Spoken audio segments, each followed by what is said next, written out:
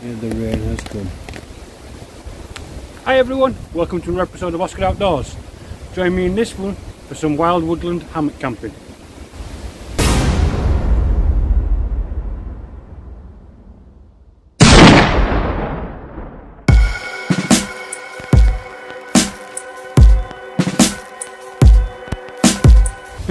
Right, so welcome back everyone. Um, as you can see, I'm in the same spot I was last week with English Woodsman.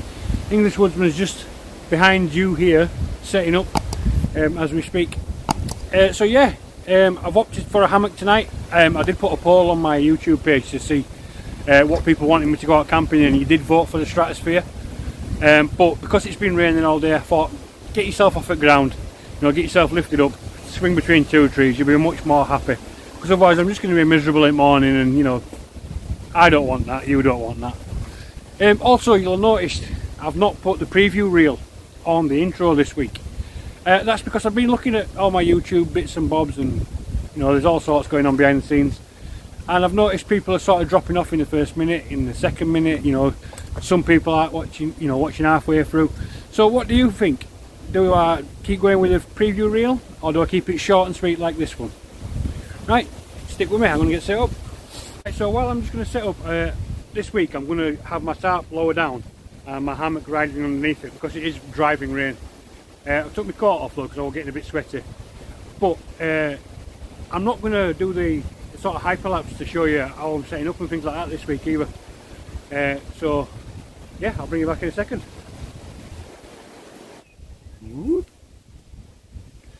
So yeah, I finally got set up. Uh, tonight, Snugpak all weather the G1, hammock cocoon as usual, self-inflating midi mat inside and a new pillow which I'll take you inside and show you very shortly. But I've also done this over here. Because it's raining, they want me gear to get wet so I've got the, uh, the Stasher G1 uh, and just a, a net hammock and then my bag in that just off the ground. Right, go to inside in two seconds. So just while we're over at my setup, you can see that my tarp is set a lot lower today. Normally my tarp is, they've been out of shot normally. Yeah, I've lowered it really down because obviously we're expecting quite heavy rain tonight. Um, so I've lowered it down just so that the driving rain doesn't sort of come under and the, the hammock as well is actually tied higher. So this is the hammock straps and this is the ridge line. So the hammock's tied a lot higher than the actual ridge line of the tarp. So I'll just spin you around and show you what else I'm going to do. When I finally uh, decide to go to bed, I'm going to take these two tie-out points here, this one here and this one here. I'm going to draw them in together, like so. Pull one through the other and then just stick a simple toggle in. And that should just keep my ends closed, keep me uh, a little bit drier overnight. So I'll show you what that looks like from this end. Right, I don't know how well that's showing up on camera. You can see that my ends have been drawn in, still away from the cocoon, but when I get in it will drop a little bit. So obviously I've got the pound shot bobbles on these uh, bits as well, and then the simple toggle just going through one of the bobbles just cinching me in, keeping me dry. I'm going to leave it like that till bedtime now. Here we are under our weather shelter, uh, tropical hammock. This is my new pillow, this is the butterfly version of premium air pillow from Snugpak. Uh, obviously tried this out the other night, I was doing a just to mess around because I bought Ollie a new system which I'll show you very very shortly. But yeah, I've uh, upgraded my pillow because I've handed mine down to him. But yeah, butterfly pillow. It should cradle my neck a bit better and stay in the hammock a lot better. Instead of me trying to chase it and find the, the pillow in the cocoon in the morning and me with a stiff neck because I've not had a pillow all night. So I'm looking forward to trying that out. Yep, this is the uh, Travel Light self-inflating midi mat. I'll do a review of them like I always do. Uh, and then the cocoon, which you know you've seen a million and one times. Right, I'll take you over to my bag. Right, so again we're just under uh, Snugpak G1 Stasher. Um, and then this is just one of them cheap sort of net hammocks you can get off eBay for about three or four or five pounds, something like that and then the Snugpak Endurance and then a Snugpak 70 litre aqua cover.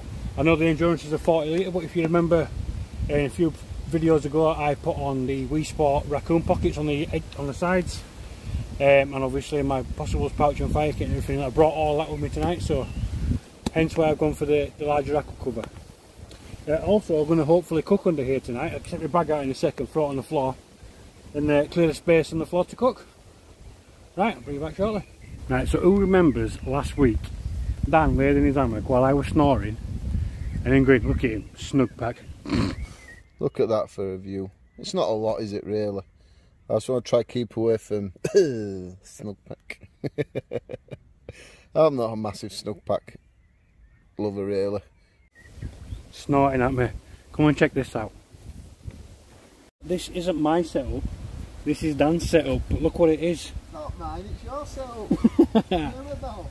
so yeah, he's got a Snugpak hammock cocoon. I knew I'd convert him one day. Soon as charity shop's open, I'm taking it back. so yeah, just while we're here actually, I'll just show you what I did for him. Is if you look at his knots here, you can see this one. This is like a, a structural ridge line that I've stuck to his carabiners for him, just so that he's got um, a little bit of lift in the cocoon. If you've seen my review video, I talk about people being claustrophobic in there. And as it's Dan's first night, I didn't want him running off and leaving me in the middle of woods on my own. So I thought I'd help him out a little bit. Just one more quick tip that, I've, uh, that I'll show you. You can see that I've actually pegged the tarp in through the eyelet there. And if you follow the cord here, you can see another peg there.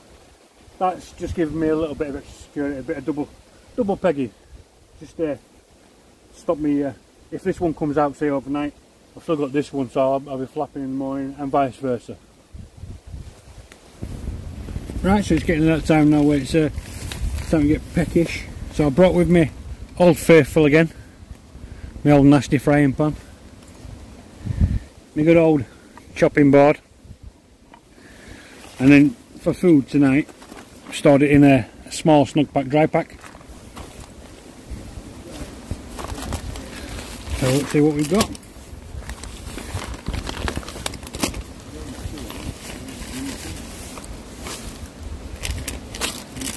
So obviously I've got with me my uh, my cook set with all my herbs and spices in.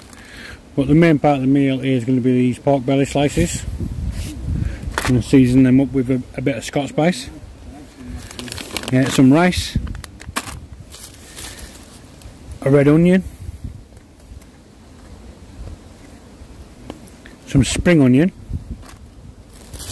And then just to, to dress at the end a little bit of coriander. So I brought with me tonight just my uh, cheap sort of cook set. And the cheap stove. Just a, a small gas cylinder. So yeah, I'm just going to be cooking away on that. I put all the pans back, I don't actually need the little pans do I? Just the uh, stove and gas, so lighter next time Scott. So this is the little set that I actually cooked the chips in last week. Uh, what did you reckon to that? Has anybody ever had chips in the woods like that before? I think I got that idea from uh, Ash Outdoors when he did his free ingredients um, cookout video. Um, English Woodsman just give Ash a, a, shout out as well because uh, they've been liaising together so uh, well done Ash on hitting 2,000 subscribers mate. Not far behind you but slowly catching you up. Yeah I brought with me my uh, little cook set again. Uh, if you're interested I'll do a video on this, let me know what you think. Uh, so yeah I've just taken out my vegetable knife. I'm just going to cut up my onion on here and this is going to be my meat knife. I'll just close that up for a second.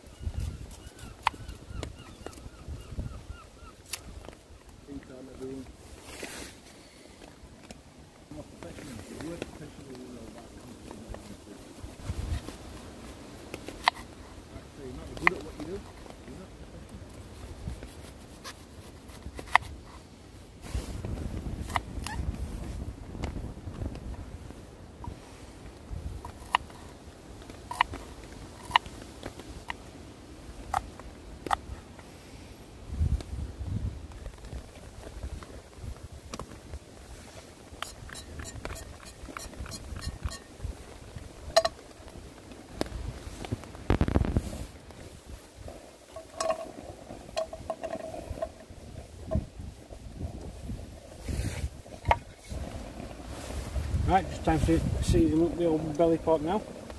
A Bit of Scotch spice, so yeah, these are little bottles that I've got in my cook set. Bit of Himalayan salt. Got to replace that one now. Bought these from Ranger, I've had a few people asking me what they were.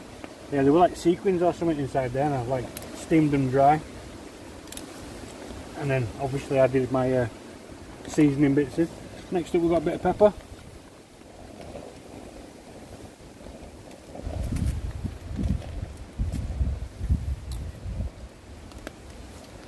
And lastly some chili flakes.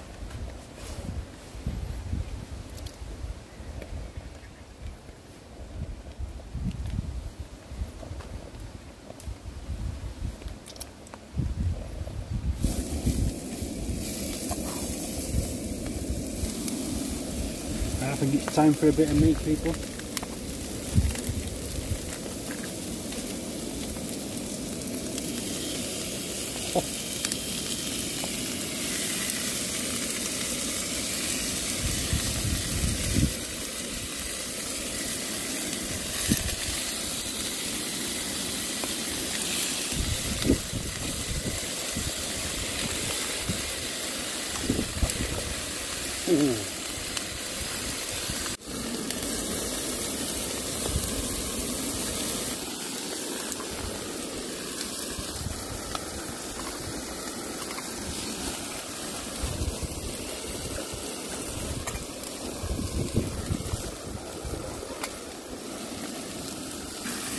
To check on these now. Oh, oh. Drying off nicely.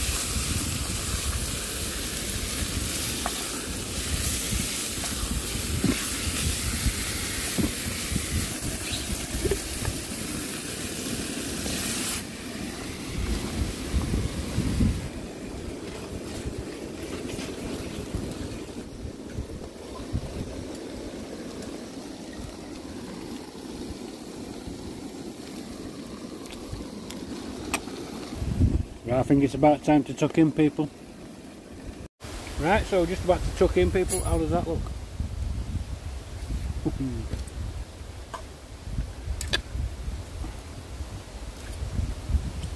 Dropped a bit then.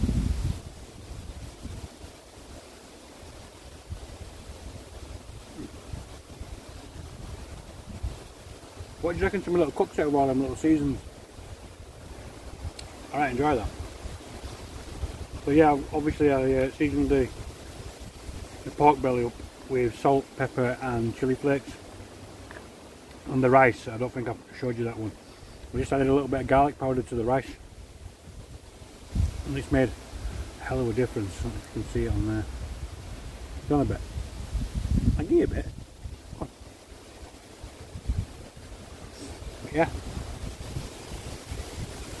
And sit back, enjoy this and my coffee. You see that? I'll see you in a bit. So while I'm tucking in, what do you guys think to hammocks? What are the pros, what are the cons? The reason I opted for the hammock tonight is because obviously it's been raining quite heavily earlier on and the ground is sodden. Where I'm sat at the minute is, is just sodden. I've got my wellies on, I've got my, my like um, DeWalt work trousers on. Um, and I'm sort of perched on a bit of a rock but yeah it's quite sodden so I'm glad that I chose the hammock tonight. Um, what's your main reason for hammocking? Let me know in the comments. Right I'm to crack on my tea. Caveman style. So I've got a couple of days off this week as well so I might come out and do a bit more camping during the week. Um, I'm working next weekend so can't camp next weekend. But what I'll do is if I do camp midweek. Won't release the videos back to back. I'll space them out for you. Oh, yeah, looking forward to it. I had a midweek camp for absolutely ages. I can't remember the last time. Way before lockdown.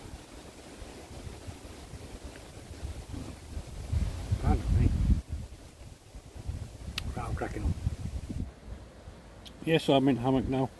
A little after 11 o'clock. Um, as I said before with my gear, I'm in the tropical hammock and the cocoon. No sleeping bag. Uh, we've got shorts on, look. And then my uh, snazzy snug feet. Just to keep my tuxies nice and warm. Um, Brinyte, I think it's 18 Pro off keeper clipped to my ridgeline.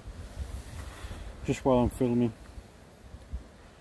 Yeah, I'm going to stick a film on get some shot eye. I'll see you in the morning.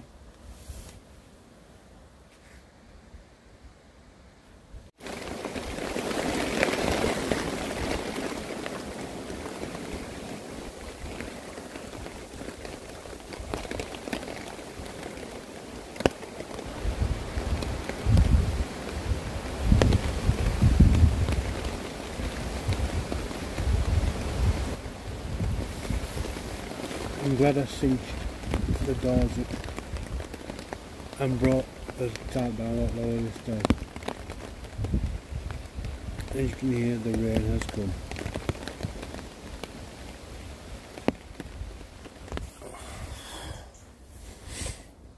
Good morning. Well, what a night. Cool out.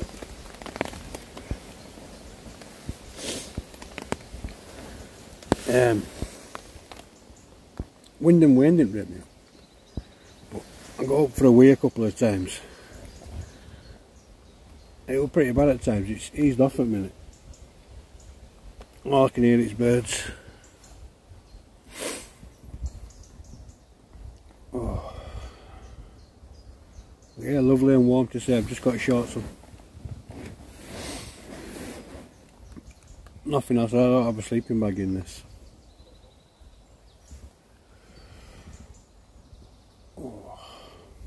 My snug feet on though, so I could run out for a wee without having to put my wellies back on.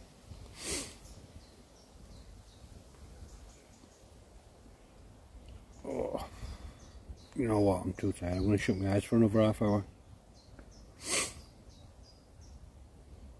Oh, see you soon.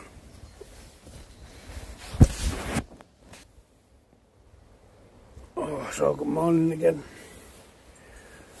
Whew. I think I've had about an extra hour there. Oh, I'm going to have to get up though because I need a wee.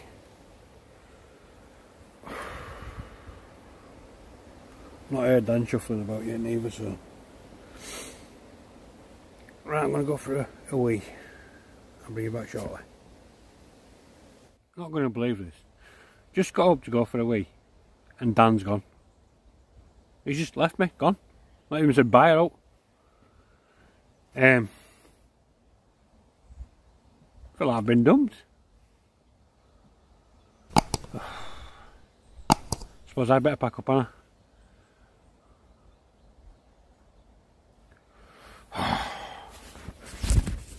Did anybody see which way Dan went? Never mind. See you in a bit.